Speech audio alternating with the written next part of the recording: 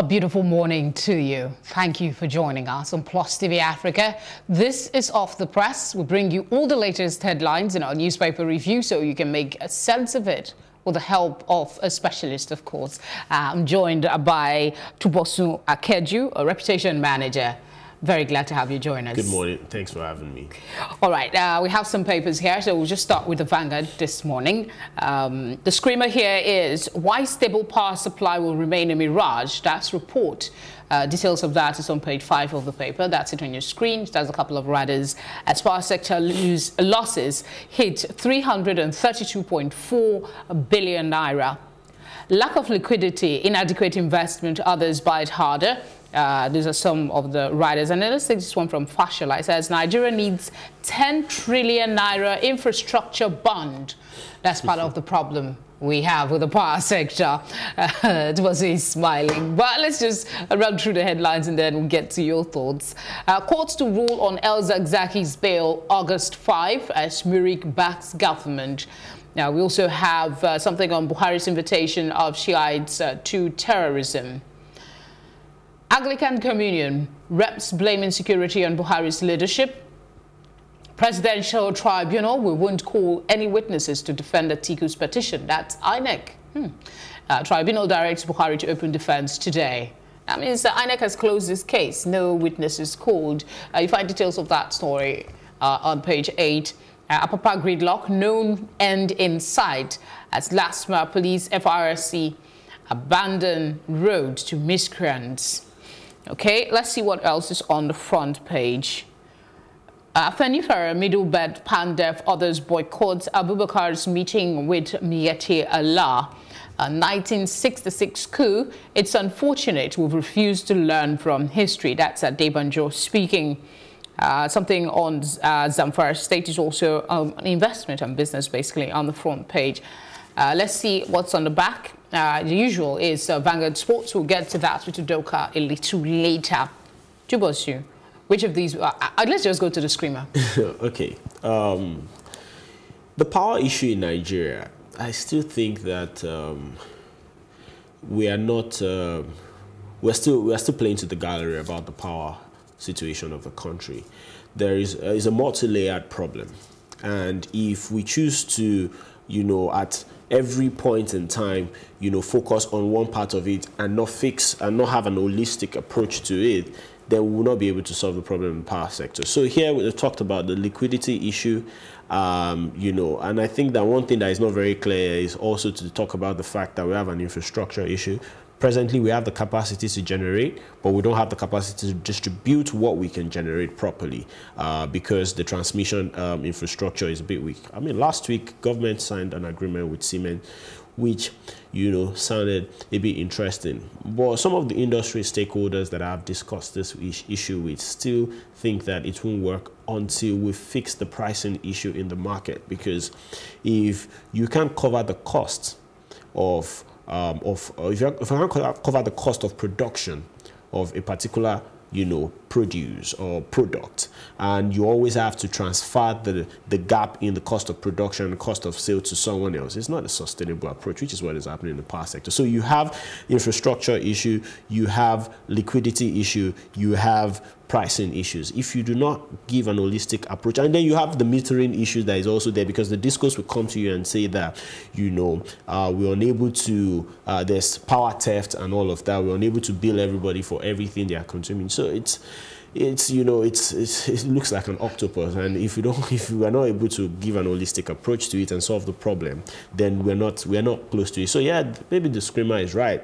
But i just hope that we'll have the willpower and we'll be able to face this thing on. Because government is also trying to be careful not to um, uh, put prices there that will hurt people. But we also have to think about the fact that do we really want to solve this problem? Everybody has come to say that power is a major problem in Nigeria.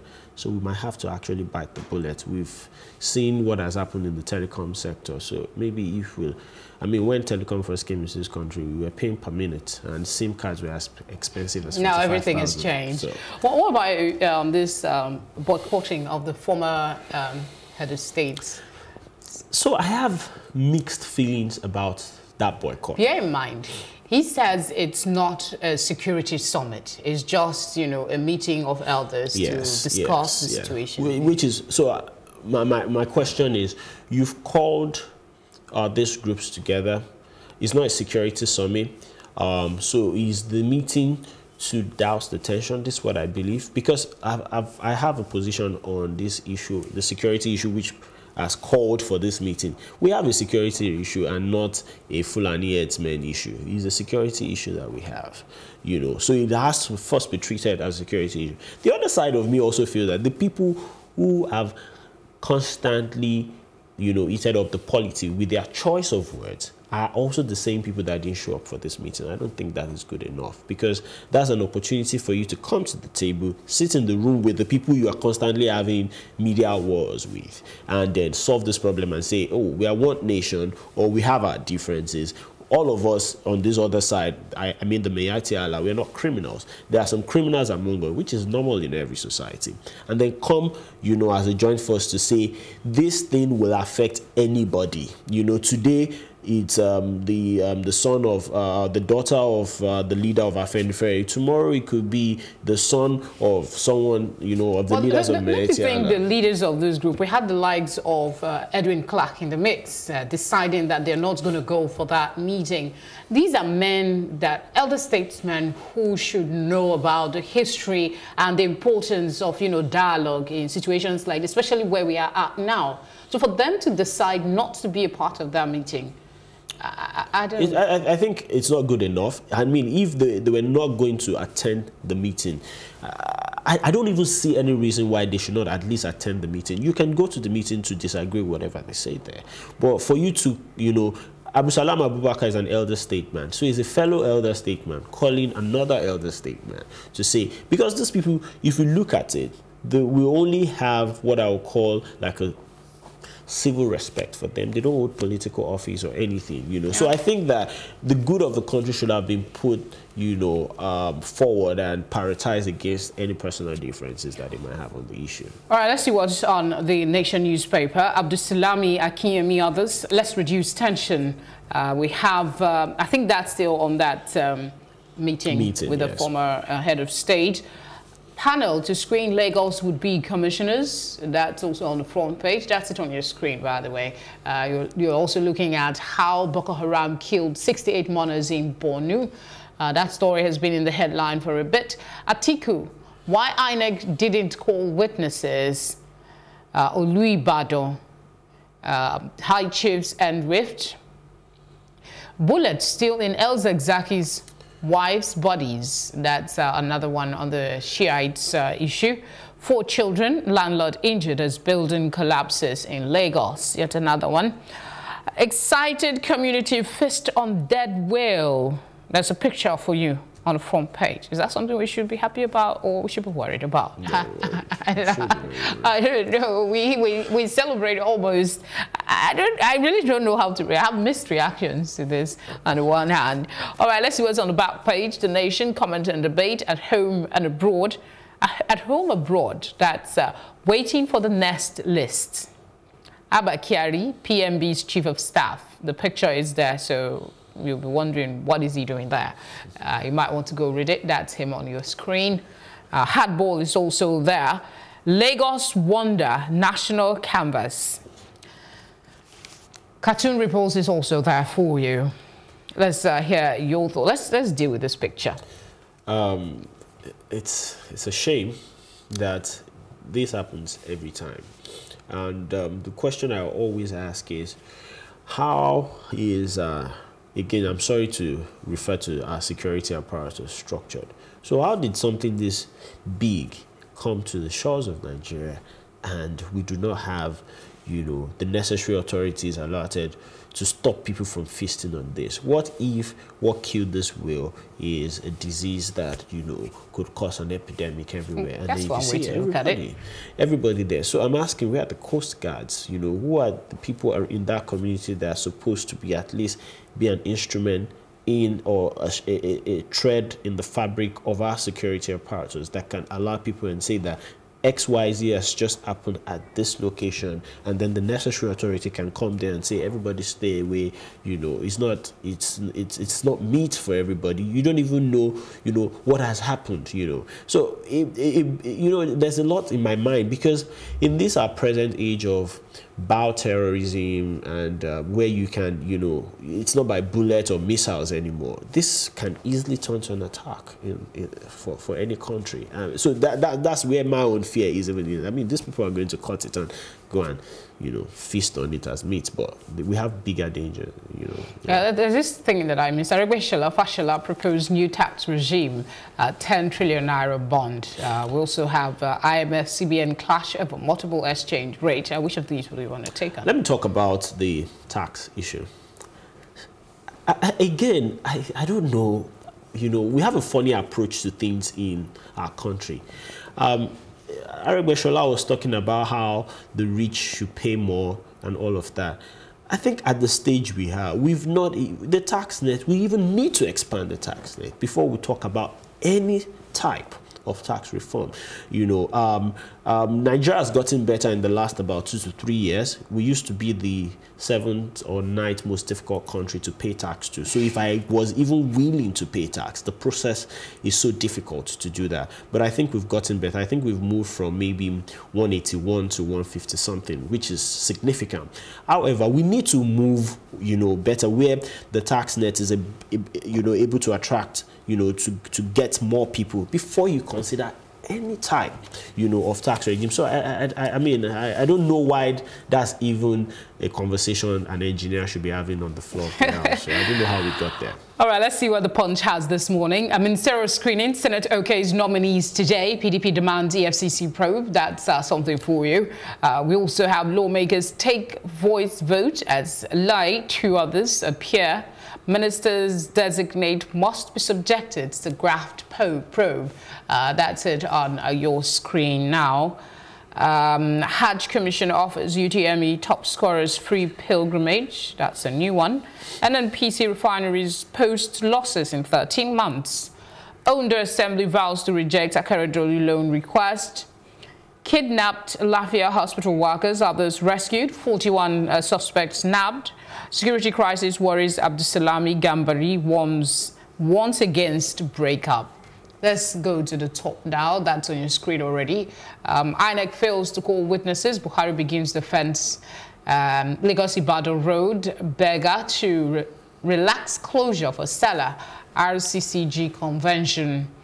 Uh, El Zakzaky absent, court rules and bail August 5. Uh, those are some headlines for you. Delay, Ekiti Ondo order pilgrims shut uh, Ilorin airport. Hmm, this one is interesting. Zamfara to employ ex-bandits to combat killings, kidnappings. Is that not reward for crime? It um, was one way. They will say it's another type of amnesty still well, available. I mean, it's um, if it's it's one of the ways to you know, also manage people that, like they say, have, have been exposed to a bit of war before they've handled guns, before they've killed people. Um, it, sometimes it has its own psychological effect on them. So sometimes they usually try, use it as to, redemption. Yes, to like bring them back into the system and then give them a lot of monitoring and all of that. Uh, one headline that also got my attention there would be the rescue of the people that were kidnapped um, about a week ago in uh, Lagos Ibadan Expressway, the Lafia Hospital workers and others. You know, it's um, very interesting to see that um, in about a week, they were able to and when i read the story it was funny because you know um, the officer in charge actually did say that oh they were grateful to the igp for giving them helicopters that helped to smoke the areas after a, after they are geolocated where they were keeping the kidnappers, uh, where the kidnappers were keeping their victims. And they even went on to say that they had they rescued, I think, four more people who were kidnapped but were not reported. So what that goes to say is that we actually have what it takes to be able to mm-hmm. fix this problem. I think the willpower is what is sometimes not there. Or is it possible that the uh, infrastructure, the security infrastructure is inadequate or is being stretched thin. Lots I'm of very, questions. very, very happy yeah. that they were able to rescue uh, these people, and I hope that they will screen all these uh, forests and you know places to get rid of the hideouts of this criminal. All right, um, we have very limited time now, so I'll just do this day in security. There is anger in the land, says Abdusalami. Uh, Osinbajo, AFCFTA will transform Nigeria's economy, increase export by 8%. Uh, military kills 10 ISWAP fighters. Lawan, Senate will confirm uh, Fashola, Amaechi, Sirika, Malami, others today. Uh, those are some headlines for you. Screen Saraki, eight others to take remaining three candidates today. That's um, a picture on your screen as well, brainstorming on the economy, the big names on the front page. And on the back of this day, we have how the Lawan Senate failed its first major test. Your quick thoughts in I'll a talk minute. about the AFCTA. Um, again, I think that just like I've said several times on this program, policy education and policy marketing is very, very important. If the Nigerian economy and the people in Nigeria are not properly educated about the AFCFTA, the African Continental Trade Agreement, we will not be able to take proper advantage of this agreement that also has its pros and cons because if people are not well educated about it then unfortunately we'll be at the losing end of that agreement I want to say thank you very much uh, to Wasim for coming Thank on the program. Always a pleasure to have you. All right, we'll go on a quick break, and when we come back, Udoka will be joining us for a review of the sports headlines.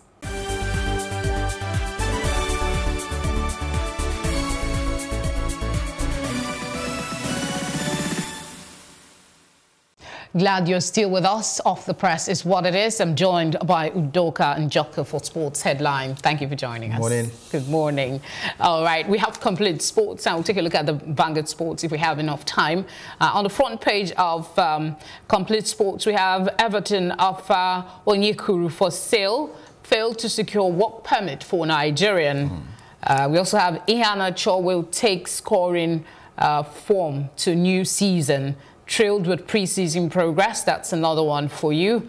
Ronaldo honored with a Marca's Legend Award. That's uh, another one on the front page of the paper. Uh, Real make a 145 million euro offer for Pogba. I guess I'll just um, pause there so we can have more time to analyze some of these headlines. On the back of it, you will see uh, Transfer Center for all the latest transfer gist. To talk Yeah. about quickly. Well, it's uh, majorly about the transfer market. We're heading into the new season for uh, the 2019-2020 season. And for um, Onyekuru, who is, has been offered for sale, he hasn't really had an impact at Everton since he made his move to Everton.